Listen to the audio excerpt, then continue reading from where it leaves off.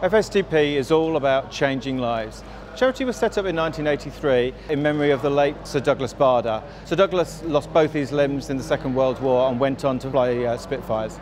In our 34 years, we've uh, supported and changed the lives of just over 400 people. We use the medium of flight to take a disabled person and take them on a journey where they really do discover themselves and go out into the world much more capable and confident in their own life.